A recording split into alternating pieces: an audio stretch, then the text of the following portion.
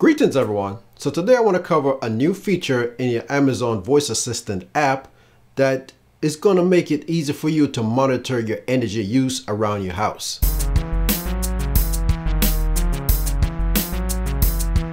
Alright, so there's a new feature in your Amazon Voice Assistant app.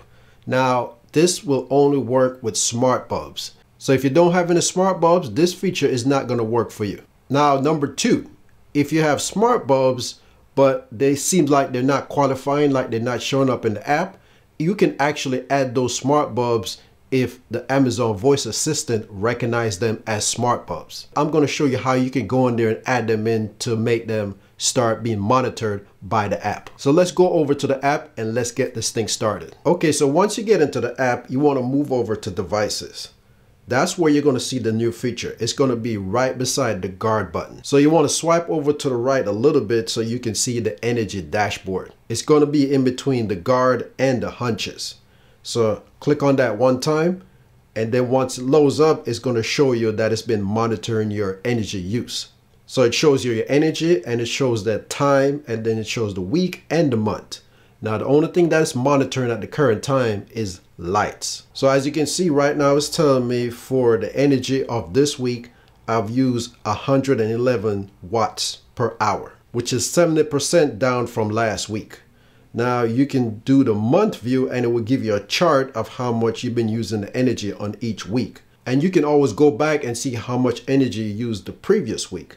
So the previous week I've used 2.6 kilowatts versus this week I've used 739.9 watts. And if you switch back to the week view, you can do the same thing. So I can go back and see what's my usage for the entire week of last week. So on Wednesday, I use more energy than any other day of the week. Now, if you really want to see how much energy you use on that day, because right here is showing you the average. So you just hold your finger down on it and it's going to pop up and let you know how much energy you use that actual day. And you can do the same for each one of these days. Now, next to energy, you have time. So when you click on the time, it's going to show you how long in hours that you've been having whatever energy you've been using. So on average, I've been using 3.2 hours and that's up 24% from last week. So the previous week, so as you can see, looking at the chart, my energy has been fluctuating up and down but for some reason on Sunday, I use more energy than any other day. So this is giving you a detailed breakdown of the wattage that you're using from each one of your bulbs that she recognized through the app. Now, if I stroll down a little bit, you will see I got a trend section. The trend section will show me which light. So it says time on for living room lights.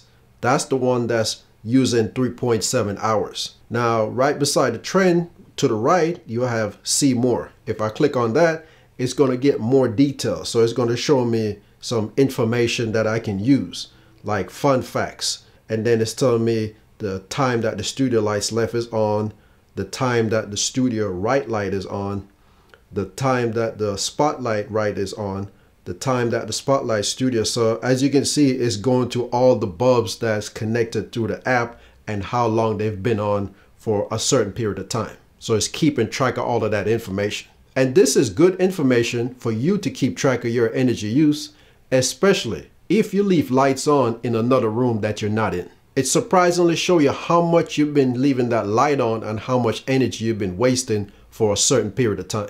Okay, so if you go to the list of the bulbs that the app is monitoring and you notice some of the bulbs are not being monitored, you might have to go in there manually tell it to monitor these bulbs.